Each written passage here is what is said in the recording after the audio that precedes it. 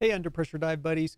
If you've been diving for a while, you've probably been on a really good dive with a great dive buddy. You've also probably been on a dive with a buddy that's, well, not so great. What makes one dive buddy fantastic and makes another give you the urge to embrace the cancel culture? How can you make sure that you are a good dive buddy? No, a great dive buddy. Let's dive in to what makes a great dive buddy. Get your gear on because it's time for to descend into another episode of the Under Pressure Divecast. I'm your host, Scuba Steve. Scuba diving is a fun and exciting adventure sport, and take it from me, you can be a diver. And to help you get there, the Under Pressure Divecast is here dedicated to promoting and discussing recreational scuba. So, what are we going to talk about today? Well, we have a little bit of news.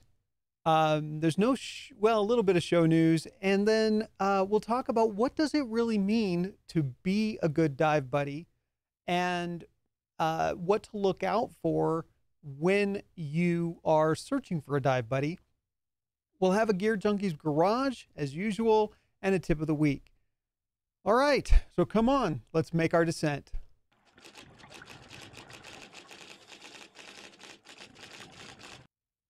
Okay, this week in the news, um, I wanted to talk about something that that you know people talk about this on a pretty regular basis, but I think that's actually really really important um, because we don't. Eh, there's so much about this topic that's wrong uh, that we really need to talk about it in the way that is right. And I don't really like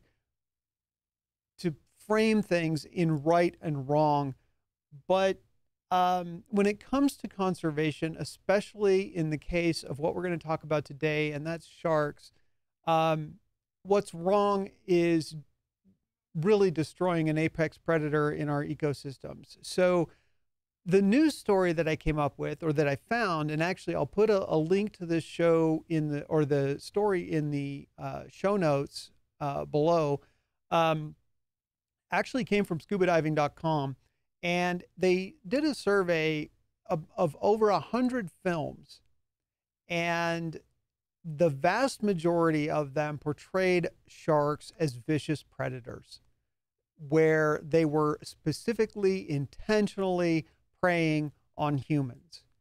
And so the first thing is that absolutely isn't right. Um, we aren't the natural prey items for shark.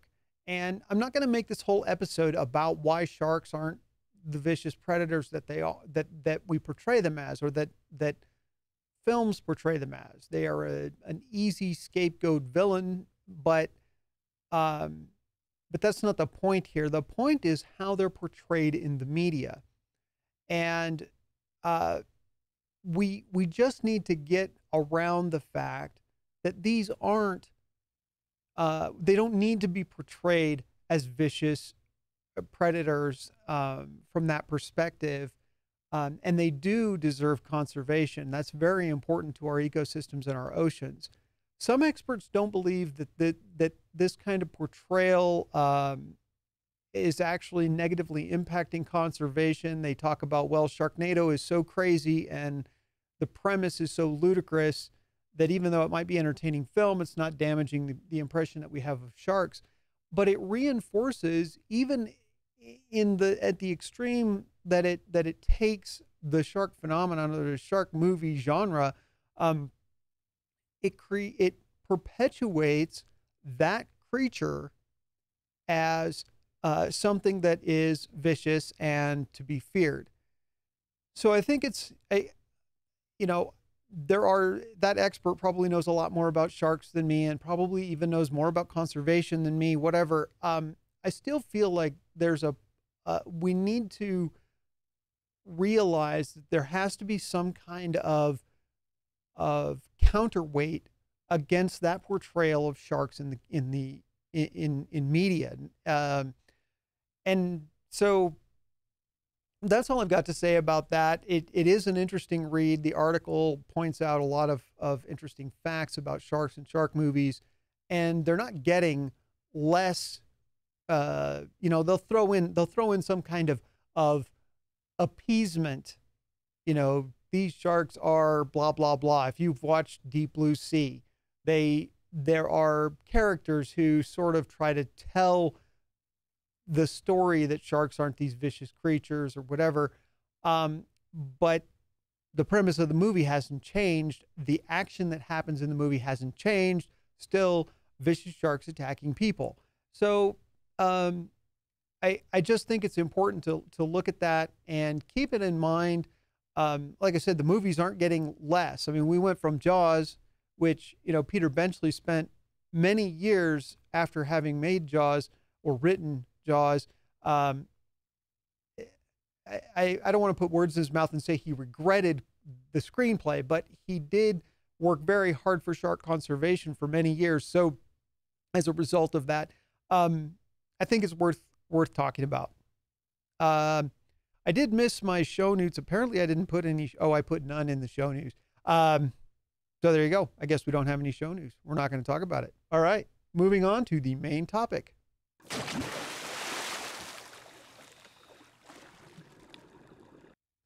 So this week I wanted to talk about what makes a great dive buddy because I, I think about, you know, some sometimes you can almost think of your dive buddy as an automatic, something that just happens. Now, if you're fortunate enough to um, have another diver that's close in your life, uh, a partner or a spouse or a good friend that is just ready to drop everything and go diving with you, that's great. Um, but sometimes you're going to be on a boat or on a pier and you're going to be there by yourself or you're going to go with a to uh, to a lake with a group and you're going to have to pair up to get uh, in the water. And what does that look like? Now you're stuck with some i shouldn't say stuck with but you're partnered with somebody you may not know very well. And what does that mean to you as a scuba diver? Um, and and so i want to share a few stories from my own experience. So when I was uh, a very new diver in 2002, I went to Cairns, Australia, and I was diving with. Um, I, I, connected with a, a, photographer from Wisconsin. His name is Dave. Um, I've since unfortunately lost track of him, which is a, a bummer. But but he, uh, if you are a patient diver, photographers are the people to go with because they dive slow and they pay attention to what's going on around them instead of speeding around the reef. And so that that little advertisement for diving with photographers uh, uh, has been brought to you by Olympus. No, I'm just kidding. Um, the the Dave was a really great dive buddy. Um, I had my first real problem on a reef um, when I was diving with him on a wall, and we were at about 40 feet or so. I think my computer said 43, something like that. Um, there was a you know a very good distance under us and 40 feet to the surface, and we were on a sheer wall. There was no um, there was no level area there, and I had just bought a new mask that I was really excited about. That was um, it was a polycarbonate with with um, I don't even know how to say it, wraparound lenses and a black frame. And so it was supposed to be, you know, all the rage at that point, wider field of view and, and all that. Um, and the strap broke or didn't break, but came undone. And to be honest, I won't na- name the mask or the manufacturer, but it was basically a crap mask. It was a scuba diving mask, but it was just, I, I think they threw it together, uh, you know, over a weekend with maybe a little too much beer. And, and so uh, the mask strap came undone, and I'm at 40 feet. I'm a brand new. This is probably my 30th dive ever, something like that. I mean, seriously new. I had just gotten my advanced open water when I went to Australia. Uh, so there was a potential for me to to to panic and um, you know 40 feet is plenty of room to hurt yourself so uh, the I to my own credit, I didn't freak out, but I was very, very uncomfortable at that point. I managed to to uh, catch my mask, though Dave's hand was on it as fast as my own. So he was paying attention, uh, which we'll talk about in a little bit. But um, and and you know at that time my buoyancy wasn't great, so he was able to grab my BC shoulder strap and help me maintain uh, you know kind of our position in the water column while I got my mask sorted out. And so uh, we I finally got it back on. Uh, I he asked me if I was okay, and I said no, I'm not okay. We need to go up. We went to the surface, and I was done. I couldn't go back down, and that meant that Dave was going to have to call his dive because we weren't um, we weren't with a larger group, or he could find some uh, you know uh, another another dive buddy pair that they could triple up. And we I won't talk about tripling up today, but um, that it's usually not ideal. But anyway, I told him I was done, and he was super cool about it. He said, okay. And we just swam back to the bo- boat, got on board, and, you know, uh, hung out on the boat. And, and I, to this day, really appreciate that as um, the right way to handle a dive. Now, is it a bummer when your dive buddy has to call a dive shore. Of course it is. But um, it isn't worth the consequences of being a jerk about it. And so, in contrast to that experience, I was doing a eco dive in one of the local reservoirs, and this this is really an interesting dynamic because we there were probably 20 divers at the eco dive. We were diving in the marina underneath the piers, cleaning up junk, right? Um, lawn chairs, boat boat motors, you know, whatever people dropped over the side and couldn't get. And I, I talked about this uh, a little bit in the last episode in the last episode because um, I started to get vertigo, and um, like I said in the last episode, I we were in relatively shallow water. I went down to the bottom of the the reservoir, got oriented, went to the surface, told my buddy I was done. He was a complete jerk about it, which was funny because there were 19 other divers in the water. There was no reason for him not to be able to pair up with somebody else easily, conveniently, um, whatever. Anyway, total jerk about it. Like I said last time, uh, turned out when I got home, I had 104 degree fever. Uh, didn't feel guilty at all about calling that dive, right? And so um, those are, you know, kind of contrasting experiences that I've had in terms of what is a good dive buddy and what is, you know, a negative or a bad dive buddy. Um, I did have another experience when I was doing my deco training, um, my instructor had organized a trip to Blue Hole and Rock Lake down in New Mexico so we could do some deep dives. And um, it was the the morning we were getting ready to go, and the person that that my instructor had paired me with came down to the table, slammed their stuff down on the table, and and said, "I am just so angry this morning but with expletives and a lot of loud, obnoxious behavior. And honestly, I wasn't going to go to 150 feet with somebody like that in that in that condition. And after breakfast, I sat down with my instructor and I said, "Instructor, I'm not diving with them. I'm sorry it causes a problem. I understand that, but that's not happening. I'm not going to feel safe."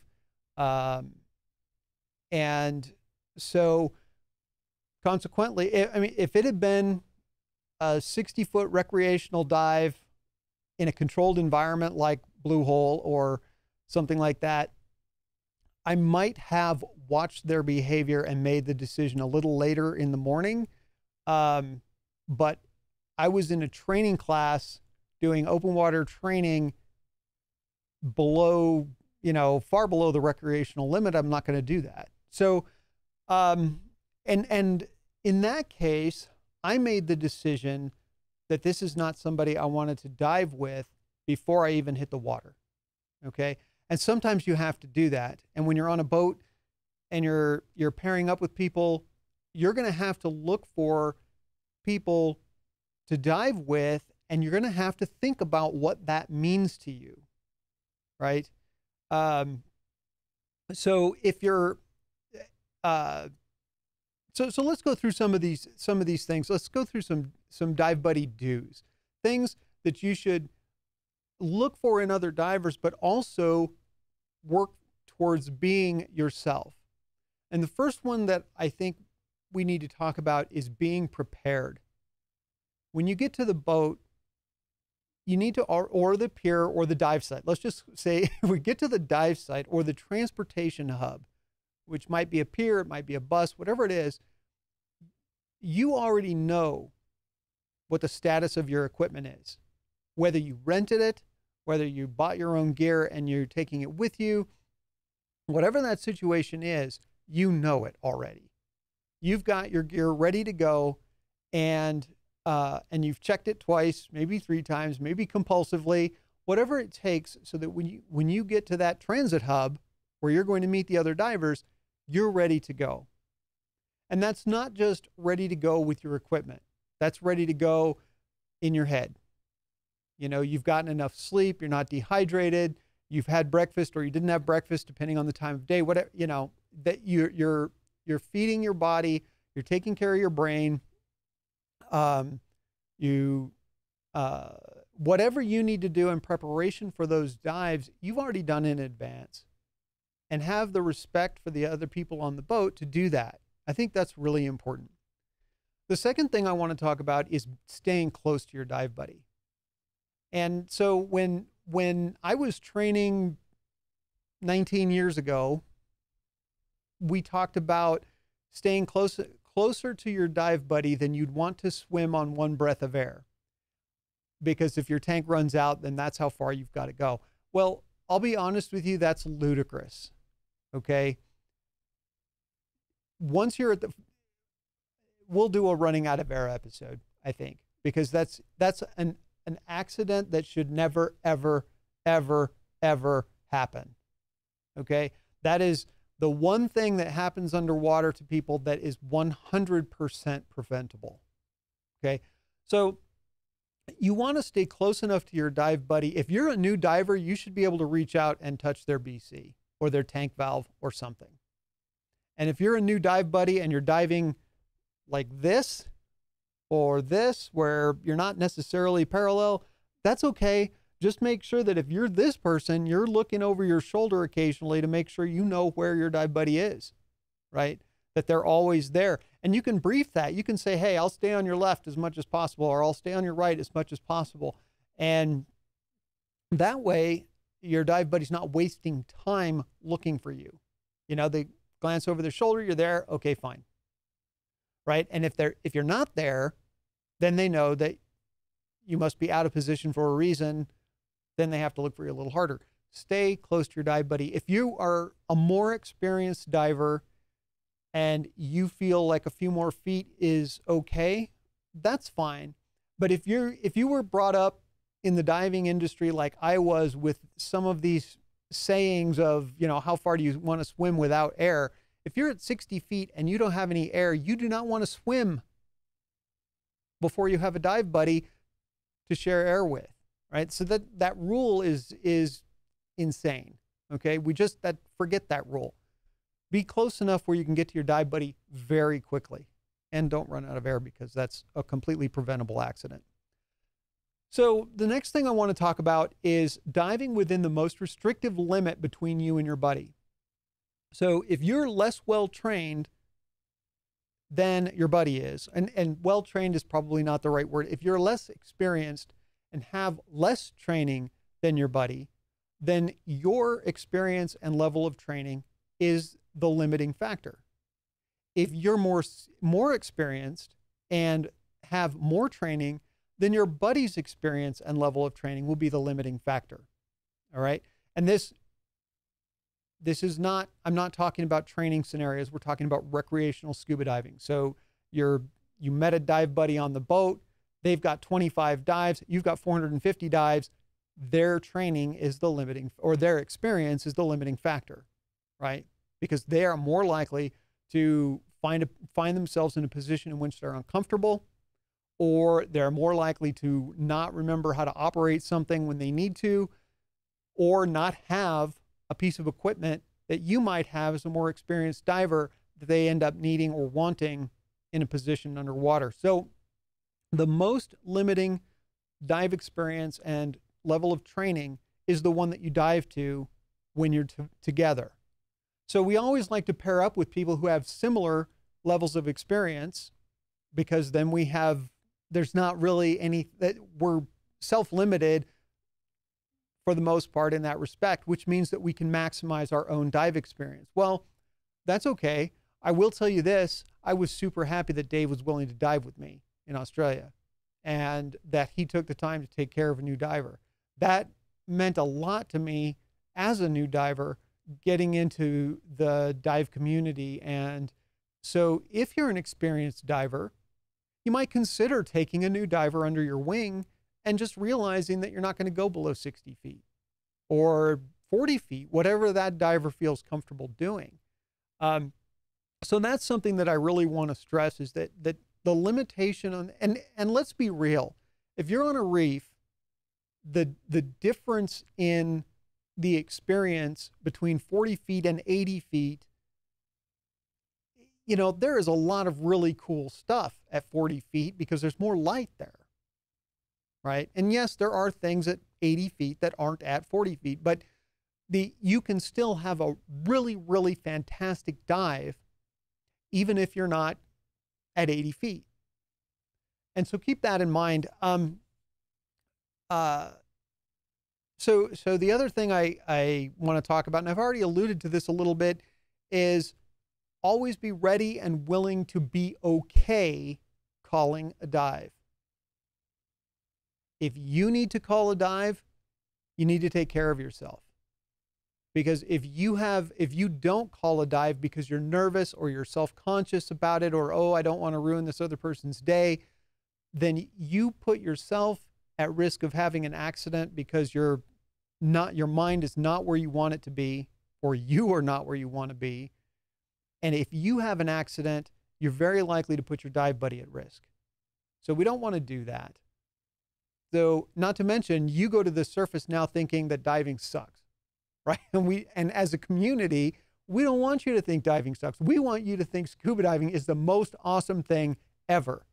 Every single time you get in the water, I don't care if you're on a reef in in uh, the Philippines or Indonesia, or if you're in Carter Lake here in Colorado and you have two feet of visibility because it's a really clear day. Um, it, every dive needs to be awesome. So take care of yourself. And if you don't feel like diving, get out of the water, call the dive. Even if you have to, like I said, even if you have to call it before you ever get in the water, say, I'm not doing this. And so, um, yeah, that's it. Um, the other thing when you're when you're a dive buddy, one thing to do that's good is to communicate expectations. Be communicative. Don't just nod your head when your dive buddy says, Hey, we're going to go down to 80 feet. We're going to see this wreck. We're going to do all this stuff. And you're like, maximum depth I've ever been to is 40 feet. I've not been trained to deep dive. I don't feel comfortable doing that, but I feel peer pressure, so I'm going to do it. Um, you know, communicate with your dive buddy and be receptive to communication. Okay, when somebody says, "Hey, that that worries me a little bit," so here's where we get into a trap, right? And this is the encouragement trap where we say, you know, that 80 feet is a little much for me. I'm a little concerned about that. And, you know, as divers, we're almost always going to downplay, and well, as humans, we're almost going to always downplay our fear and try to put on that brave face, right? But if your dive buddy expresses that to you, what's our response? Well, what can we do at 60 feet? What can we do at 40 feet? And, and do the same dive. Or if you're on the boat and somebody says, hey, you know, 80 feet's too much, and it's super important to you to get down to that wreck at 80 feet, work with the dive master or the rest of the team on the boat and repair up. if possible. Now it may be that there there's one newbie on the boat and everybody else is an experienced diver and they you might somebody it would be great for the dive community if somebody would say, "Okay, you know what? I'm good doing that. I'll do a 40 foot dive with you. I'm cool." So remember, a 40 foot dive can last a lot longer than an 80 foot dive. So that's something to think about too. Um, but communicate your expectations. If you're the more experienced diver, say, hey, this is what I expect to do. How does that feel to you? And let them sort it, right? Let them say, well, that's too much, or no, that sounds good. So, what I was going to get to with the encouragement trap is that somebody says, I don't feel comfortable going to 80 feet, and you say, Oh, it's all good. It's the, the visibility's great, the water water's warm, um, we're gonna have a great dive. Um, you know, and and you can do it. I'll be right there with you. So there's a point at which encouragement becomes peer pressure. And we need to be very careful about drawing that line and saying, you know, at some point and and what is it? And it could be very situationally dependent right? That diver could you could you could be seeing a little bit of nervousness nervousness because they've never been that deep. And then you're like well i'll be right with you. We'll we'll take it slow. If you decide at any time that you want to stay at the depth that we're at you just let me know. This is it. I'm good. Then i'll we'll stop and that'll be great if you can provide that kind of environment and then check in with them when you're underwater, are you okay? You know, and if they say, eh, I'm not okay, then let's go up a little bit, right? So, um, we we don't want to get to the point where our encouragement, which you know intellectually we're probably trying to be helpful, but deep down we probably want to go to that wreck, and we're trying to get this person to do it, and we're trying to be nice, and we're trying to work within the social system that we have. Um, try to step above that if you're an experienced diver and say, you know what? How do I help this person to their comfort level? And then how do I just have a great dive with them? Because that's better for the industry. And honestly, you're going to have a great dive. I mean, how many times? That's a great dive is 90% in your head. If you can have a great dive in Carter Lake, you can have a great dive anywhere, right? At any depth. It's all up to you. So those are some dive buddy do's, and I kind of squeezed in some don'ts there. Um, eh, dive buddy don'ts. One of the ones that that really gets under my skin is, um, well, you know, I, I didn't even list this one, but I gotta I've got to say this: putting yourself first. Okay. Um, to the point where you will allow negative consequences for your dive buddy. You'll allow them to go into a situation where they are uncomfortable or where they're not trained. Um, uh, going into a, a, going too deep, going too fast, going into a cave. Don't even get me started. Um, so so don't put your own dive experience before your dive buddies if you can't come to an agreement on the surface about what a great dive looks like, then switch buddies. Or, like I said, put yourself in a different mindset and provide another diver a great dive. And you'll have a great dive too if you want to. Um, so the next one is don't listen to the dive briefing and then do your own dive anyway. You know, if you're in a structured dive situation, dive the briefing. You know what did they say plan the dive and then dive the plan. Um, ignore your buddy. Okay, so you've gotten all paired up and you get in the water and then you're doing your own thing. You know, you're not even paying attention. Diving is funner, more fun, more funner when there's people to share it with. And why do we take cameras underwater? They're not necessary for diving. In fact, they're kind of an added problem. But we take them because we want to share the experience with other people. We want to post, them on on the internet. We want to share them with family. Share that immediate experience with someone.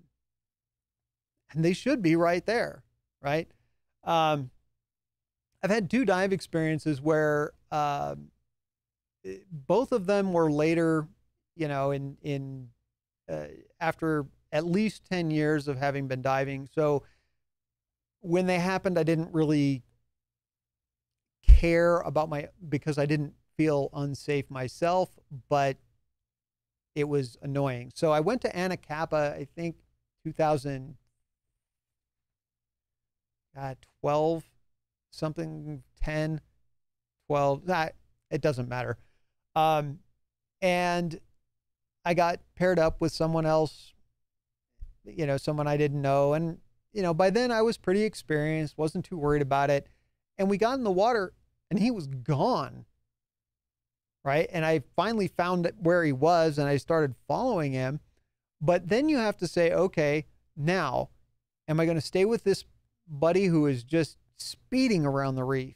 And and I don't know if he I don't remember now if he had doubles on or something, but he must have had a ton of air because he was just or maybe he was just super efficient lungs, but he was just gone. And so then I'm looking around saying, okay, if I get into trouble, is there someone else I can? And of course, it was a cattle boat, as they say. So there were lots of people in the water. So I took the time to catch up to him. And then, you know, but I spent the entire dive chasing this guy. And that doesn't make a great dive for me. Um, I saw some kelp, you know, but but it wasn't super awesome. There was uh, because I was playing catch up with this guy. I don't think he saw anything. But anyway, I also had this a similar experience in Puerto Vallarta where I had to really keep up with uh, a dive buddy who was clueless. You know, just speeding along, going wherever. Um, so pay attention to your dive buddy. Um, and and part of it is is on the boat. You know, I'm a slow diver. I have no intention of racing you along the reef. I'm gonna I'm gonna look. I could look at one rock for an entire 40 minute dive and be perfectly happy. You know, maybe not in Carter. I'd have to swim around a little bit in Carter Lake, but but in the ocean, there's so much to see that I like to take my time. I like to let things, you know, wildlife and whatever sort of not be disturbed by by me and the other divers but that's not a universal a universal way of looking at diving. So if you're pairing up with someone on a boat you need to think about that and say hey how do you like to dive? What if i want to look at a rock for the entire time? Is that going to be cool or are we going to have a problem and that's confrontational don't ask it that way um, but you can say you know i'm a i'm a slow diver i like to just cruise Find somebody who's okay with that. And uh, you might be able to, if you're an experienced diver and you like to cruise, you might be able to introduce a younger, newer diver or an older, newer diver to a more relaxed dive experience than they might be used to. So think of it as an opportunity potentially for some divers. On the other hand, you also need to take care of yourself and say, I don't want to dive with someone who's going to speed along the reef. So if you talk to them on the surface and they're not totally comfortable with the idea of just relaxing, see if you can find somebody else who's who's more into that. Find a photographer, really good. Um, at least a good photographer. Um, next, dive buddy, don't don't expect your dive buddy to take care of you. Putting together your gear, keep tracking, keep track of your air, keeping track of your depth, planning the dive, um, or knowing how to read your dive computer or use your equipment. So that's part of being prepared. And I talked about this earlier. Part of being a good dive buddy is being prepared. That means knowing how to work your BC, knowing where your weights are, understanding how to read the screen on your computer underwater. Uh, you know, if it's not air integrated, then you need to have a, a pressure gauge, right? And, you know, you need to be reading that. So make sure you're an independent diver, that you're taking care of yourself and that you're capable of taking care of yourself. And at the same time, don't expect to be taking care of your dive buddy. Okay, they should be an independent diver as well. If they need help because their gear is too heavy out of the water, of course, we help. If they forget something because they're excited or a little bit anxious, you can certainly provide them uh, a little bit of feedback.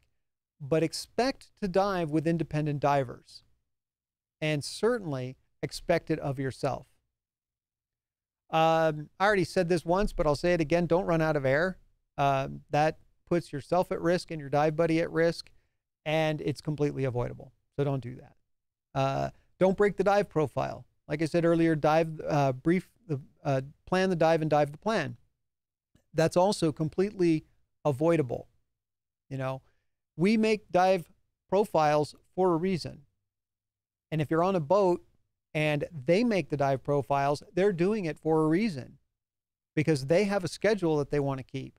They're going to do a 100 foot dive or a 60 foot, let's, let's go with a 60 foot dive. Uh, and then they're going to have lunch. That's going to have a certain amount of surface interval. And then they're going to have another dive at 45 feet. And they're expecting everybody to be able to make the same dives throughout the day. And so if you can't make that second dive because you went to 80 feet looking at something on that first dive, then that actually uh, is a disservice to your dive buddy because now they don't have somebody that they can dive with that second dive. Or you put yourself at risk if you don't tell anyone and you dive it anyway, right? So don't break the dive profile if it's if it's a planned dive, scheduled dive, whatever. If you're diving computer and you're diving with a buddy and you guys decide mutually underwater to change your plan because of a, some event happens, you see some cool thing 20 feet further down the reef, and you want to make that decision together and understand the consequences of that for the rest of your dive day, then that's a choice you need to make. But if you're with a group where there's an expectation that you're going to have more dives throughout the day, you need to stick to the plan. So um, don't arrive late. Don't be that person. You know, be early or at least on time to that transportation hub, whether it's the pier where you're going to meet the boat, whether it's the parking lot where you're going to meet the truck, eh, you know, and and go to the beach, whatever it is, just be on time. Get up a little bit earlier and be ready to go with your gear. Don't be waking up in the morning and say, "Oh, I got to put my gear in my bag." Do that the night before. You know, be ready to go. Now, if you're an Uber morning person and and you have plenty of time in the morning because you get up really early, that's fine. You know yourself. But be ready and and be on time. Um, one thing I want to talk about, and you could you could do list after list after list of good dive buddy, bad dive buddy scenarios. Um, I'm touching on ones that really matter to me. I'm sure that there are others that you could go through. One last one that I want to talk about is practical joking might be funny on the boat, but it is absolutely not funny underwater. Okay. Um, uh, especially with uh, new divers, you think you're being cute or whatever, but you end up uh, potentially really increasing their anxiety level and making their dive experience uh, less awesome. And we don't want to do that. Uh, not to mention that you can get to the point where something is unsafe. And we certainly don't want to introduce anything unsafe uh, underwater. And we don't have to. That's the awesome thing. Scuba diving is fun and exciting without any addition from us. Just the world that we're in is fun and exciting. So we don't need to add to that. Okay. Um, so just say no to practical joking. All right. So uh, just to kind of tie up a few tips to be a really great dive buddy, we already talked about a lot of things that you can do. Um, be relaxed. Be relaxed about uh, about the dive, and I don't mean not to be excited. Perfectly cool. I want you to be excited. Everybody wants to be excited about their next dive, but be calm, be relaxed, and uh, that means relaxed in your in yourself in your training be comfortable with your gear make you know you know that it's ready you you know it's serviced you've taken care of all of that so you can be calm and composed. Um, I said this before, but be willing and able and happy to dive within the limits of your buddy. Like I said, if you if that means it's a 40 foot dive, enjoy it. Enjoy a 40 foot dive. If that means it's a 80 foot dive and you're in and you're qualified and, and experienced enough to do that, and so is your buddy, great. Enjoy that dive. You know, just be ready and willing to dive within the limits of whoever is the most limiting and be willing to share that limitation with your dive buddy. If they come to the come to the boat with the the super expensive gear and the dive log, well, I know people are going to digital dive logs and and yeah, um, but they come to the boat with a big old thick dive log that looks like it's 50 years old or whatever. You still need to have enough self confidence to say, yeah, I'm not doing that. You know, I, I, I don't want to go to 100 feet. I don't want to go in a cave. Um, it, you know, I, whatever it is, just say, I'm not comfortable with that. Um, just do it before the dive, you know, when they're, when they're briefing it. And then, uh, you know, in keeping with what I said before, be an independent diver. So you're taking care of yourself on the boat or uh, even in the water, you're taking care of yourself. So that if your dive buddy needs you, you're okay, but also you're not needing them to, uh, to, hey, what's your air? Hey, how deep are you? You know, uh, I have had dive buddies that I had to chase down the reef a little bit and kind of grab their tank and go, oh, nope, nope, come on, we're not going down there. And it's not because they were, you know, maliciously doing something wrong. They just were so excited about seeing something that they followed it. And what, they, what we don't realize as humans sometimes is that those animals are in their natural environment. And if you follow them, you might go somewhere where you're not supposed to be. And there have been times, there was a time in Bonaire when I was chasing a turtle and I was, and at 93 feet, I'm like, okay, I'm done. But EAN 32, I'm not to mention, you know, at, at 93 feet, you're burning your bottom time. So um, you have to turn back say, okay, all right. So that's it.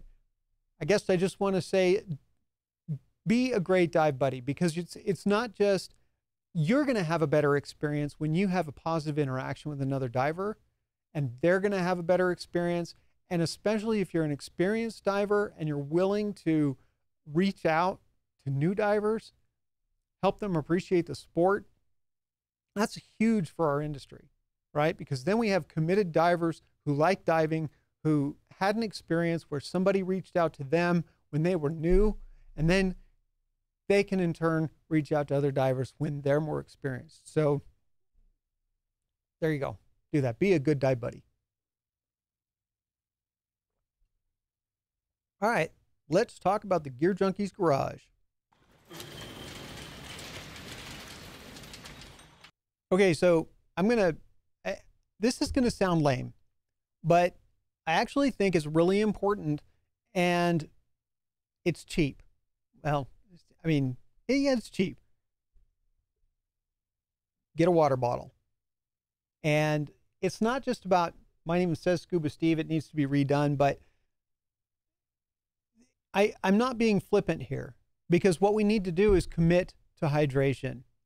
And this this particular bottle has migrated to my office, but when I travel, I take it with me. And I fill it at the hotel or wherever, and I take it out wherever I go. There's two reasons for this. One reason we need to stay hydrated as divers.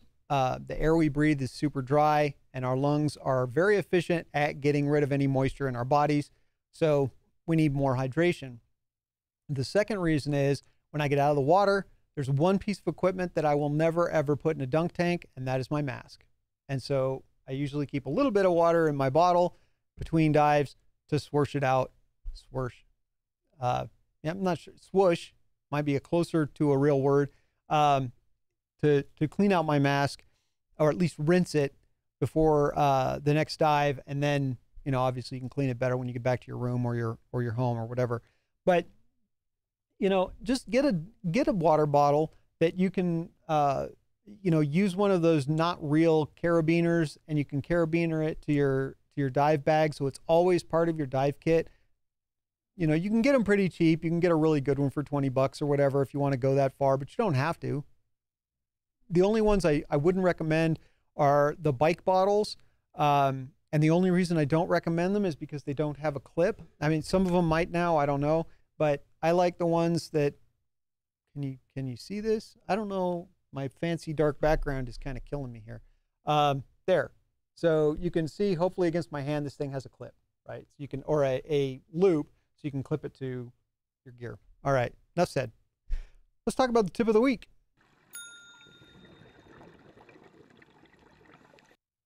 So one of the things that I I have found as a diver, and and uh, I think this will be something familiar to a lot of people, and that is that when we're scuba diving, um, there are times when you get all that gear on that your mobility is affected, and we still need to get to things. And the most important one is, you know, reaching for a hose. Now, there's lots of ways to get a regulator but there's one way on a recreational scuba rig where you can always find an air hose. And that's reaching over the right side and grabbing any hose that's on that side is going to be attached to a, a regulator, right? So there will be a second stage on the end of that hose if your recre- if your scuba rig is configured in a regular recreational configuration. So, um, so one of the things that I do at the gym is I do a couple of stretches every single time I go. Just no matter what, doesn't matter what I'm working out. I always do two uh, exercises. One is I always do this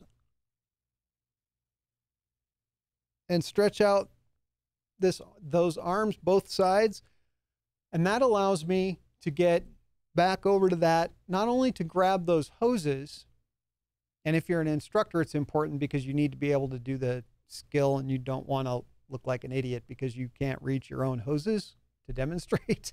but um, but it also provides you access to the valve. Now that doesn't matter so much for uh, recreational divers unless you end up getting in the water without your valve on, and it can happen. It's happened uh, uh, to a buddy I know in uh, Bonaire and why why does it happen? You get out of the water or you're getting your gear ready. You turn the, the valve on to make sure that your your tank is full. And then if you're going to travel any distance, you put the gear in a car or a truck or whatever or a bus and you turn the air off. You don't think about it when you get to the site. And you can get pretty deep once you've let the air out of your BC, you can get pretty deep before you realize that you don't have your air on. Is that a catastrophe? No, because you can reach back and turn it on yourself. Or if you stay close to your buddy, which you should be doing, you tap them and say, Hey, I'm low on air because my tank is open. And if they're an experienced diver, they'll go, Ah, yeah. And they'll tease you about it later, but that's okay. And, and turn your air on. So that's, that's one reason for that one. The other, the other one I do is that I stretch this way and so facing forward, stretch back as far as I can go, and um, always I always do those because um, if you have to remove and put your gear back on, uh, the more flexibility and strength you have in your arms, the the easier it is, at least in my experience, to make that happen. And so, especially um, like I said, when we're doing training being able to do that skill as fluidly as possible sets a good example for your students. But um, in practical terms, uh, if you've if you have been diving, if you're not an, a diver or you haven't been doing it a long time, you might not have experienced this. But you know, you can your gear can be pretty tight, and it can be kind of hard to get your arms in. If you add a dry suit or a thick wetsuit, it's just one more thing. So the more flexibility you have in your arms, uh, the better. So, stretching. All right. So you can contact the show, email me at scubasteve at updiveblog.com. visit the underpressurediveblog.com for show notes where things like the link to that uh, article I talked about from scubadiving.com, things like that will be there. You can find the audio version of the show on your favorite podcatcher. You can find me on social media at at Scuba Steve UPDB. Pretty much the only two things I really look at are Twitter and Instagram. Um, I do have a Facebook page, so I guess that's okay too. I check it every day. So, um, but the two I'm active on, and really the, the one I spend the most time on, if I'm being honest, is Instagram. Um, so you can catch up with me there. Follow me. I'll follow you back for sure. Thank you for diving in with me today here on YouTube, or if you're listening to the audio program, uh, thank you for joining me there. On the left, you're going to see a playlist of episodes for your binge watching pleasure. If you've enjoyed this video and or podcast, don't forget to subscribe with the button in the middle of the YouTube screen or on your